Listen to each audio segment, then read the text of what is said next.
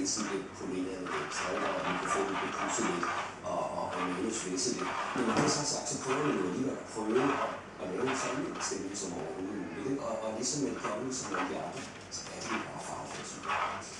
Du mødte jo blandt andet kronprinsparet og deres to ældste børn, prins Christian og prinsesse Isabella, i forbindelse med forberedelsen til uddelingen af kronprinsparets priser i år. Og ved den lejlighed, der var du og de fire en tur på Statens Museum for Kunst og på kunst. Kronprinsparet sammen med prins Christian og prinsesse Isabella på vej ind til Statens Museum for Kunst. Det bliver en dag med kunst i børnehaven.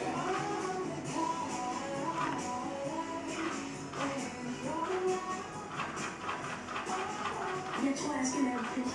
Christian Brian Saxen.